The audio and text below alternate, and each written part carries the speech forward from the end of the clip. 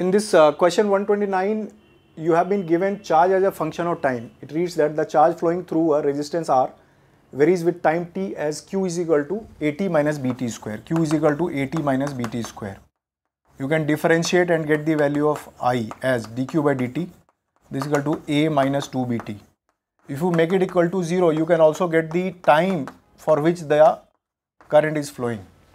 Now it says that uh, where a and b are positive constants, total heat produced in R.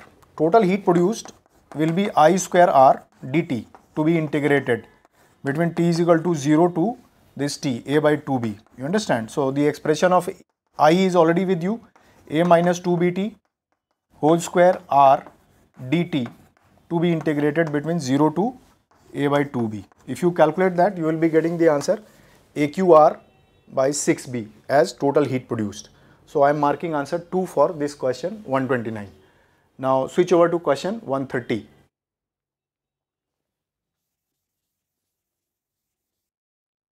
This uh, question 130 is uh, based on common emitter configuration of a transistor. It says that NPN transistor is connected in common emitter configuration in a given amplifier. A load resistance 800 ohm that means output resistance has been given and uh, the voltage drop across it is 0.8 volt that is fine output voltage. If the current amplification factor is 0.96 IC upon IB has been given to you and the input resistance of the circuit is 192 ohm then the voltage gain and the power gain. You see voltage gain is simply I out into R out upon I in into R in. You understand?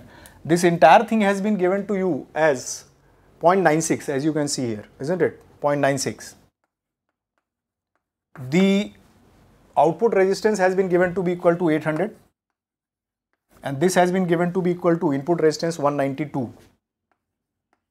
So this is equal to 4. So voltage gain is 4 and power gain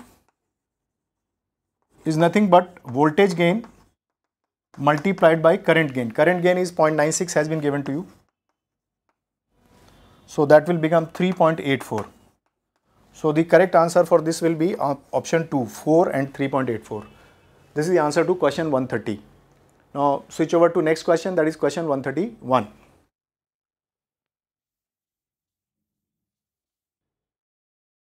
Uh, this question 131 reads that a piece, piece of ice falls from a height h so that it melts completely. Only one quarter of the heat produced is absorbed by the ice and all energy of ice gets converted into heat during its fall. So what is the kind of energy it had? This is potential energy mgh. So one fourth of that is getting absorbed by the ice to completely melt itself. You see here this is the potential energy of the ice, one fourth of that will be going into melting. So m into L and you are supposed to calculate the value of H. L is latent heat of ice. So this is 4L by G. So this is what you are supposed to calculate 4L. L value has been given to you 4 into 3.4 into 10 to the power 5 and G value is given to you as 10. So it will be ultimately coming out to be 136 kilometer. You understand 136 kilometer so, I am marking option 4 for this question 131. Switch over to next question that is question 132.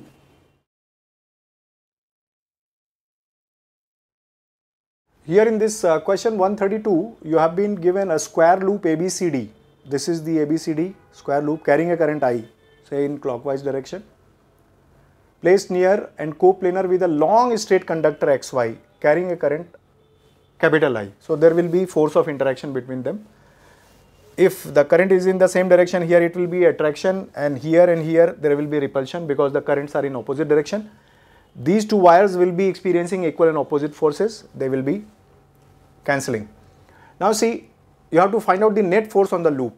So use the formula force per unit length this is mu naught I1 I2 upon 2 pi d. So in the first case it is d is L by 2 multiplied by the length L. So this is the force on this and force on this wire will be opposite to that. So I am using minus sign. Once again mu naught I1 I2 upon 2 pi D. This time D is what? Separation is total 3L by 2 this is L by 2 plus L 3L by 2 so this is 3L by 2 and length of the wire. So this is what you are supposed to calculate. If you calculate this thing you will be getting the answer 2 for this 2 mu naught II upon 3 pi. You can check that answer and this is the answer to question 132. Now switch over to next question that is 133.